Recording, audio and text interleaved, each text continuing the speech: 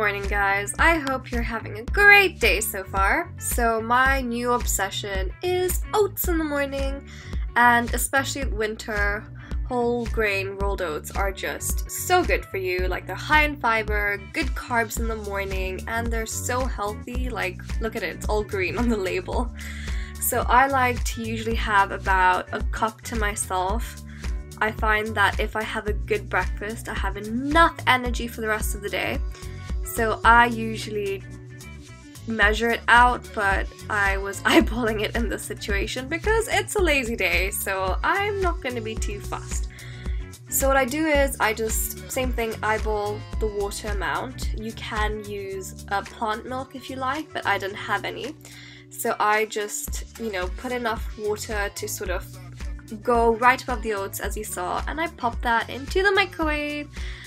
So this is a really sort of interesting microwave and usually I just set 3 minutes although I just end up cooking it for about a minute and a half in this microwave because it's really strong and I'm just doing a little dance here. I don't know what I'm doing.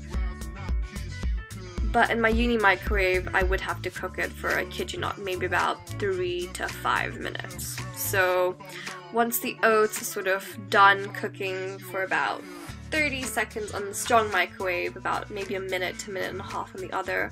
I'll give it a quick check, stir it up. Um, this one, I mean, I could eat it now already, but I like mine really cooked and it was too dry, so I just added some more water, mixed it up, got it nice and creamy again. And then I just pop it back in the microwave to cook for another, I don't know, 30, 45 seconds. And yeah, it looks good. By this point, I'm starting to smell it. Pop it out, check it. Now it looks done the way I like it. I like mine a little bit thicker. I just feel it's more bulky for the morning. And then, because it's a lazy day, I just got the fruit ready cut from Tesco. So I had berry medley and mango chunks. Um, usually I like to use bananas, but as you can tell, these are not ripe enough. So I just poured in about three quarters of the mango chunks, honestly.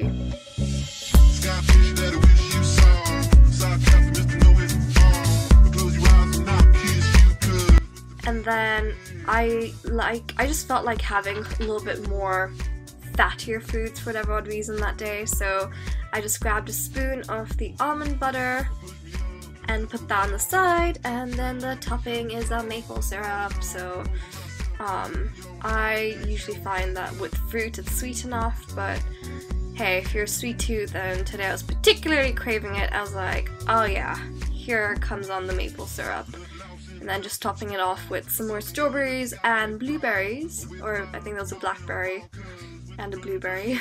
And that is my bowl, guys.